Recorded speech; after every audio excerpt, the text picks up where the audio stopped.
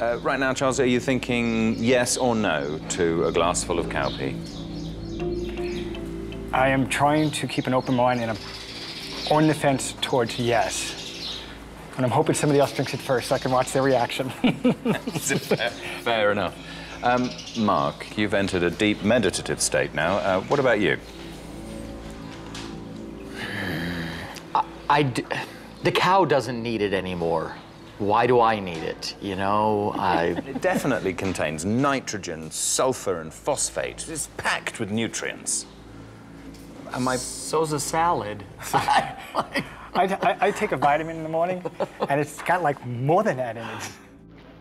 I can see they need some convincing, so I've tracked someone down who's had a cup of cow urine every day since conquering cancer and swears it's helped his recovery.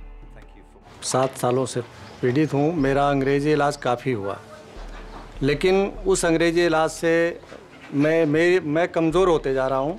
बताऊँगा कि सबसे best इलाज मुझे मेरे महाराज जी ने बताया गोमूत्र का सेवन। The um, लेकिन जब से मैंने ये गाय का मूत्र सेवन किया है मुझे कोई प्रॉब्लम नहीं है। मैं गाड़ी भी ड्राइव कर लेता हूँ और खाना भी ठीक खा रहा हूँ और अभी मैं बिल्कुल अपने आप को ठीक समझता हूँ And the taste of the cow urine is okay?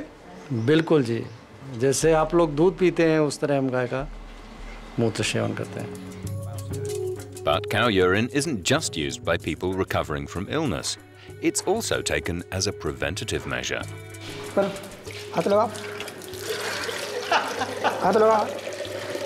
That's how it's done. Perfect. Time for our cow urine cocktail. Are you ready for this? Mm, line them up, cow tender. Of course, just like vitamin pills, a single dose may not have any immediate effect. But I want to experience the lengths people will go to in the name of health. Cheers. Good health. General health. General health.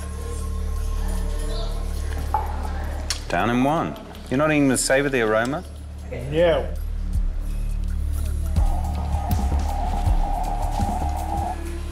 Dude. Yeah. Tastes like pee. It's a it's a it's a grassy vintage. Do you think it has any medical properties there? I don't think so.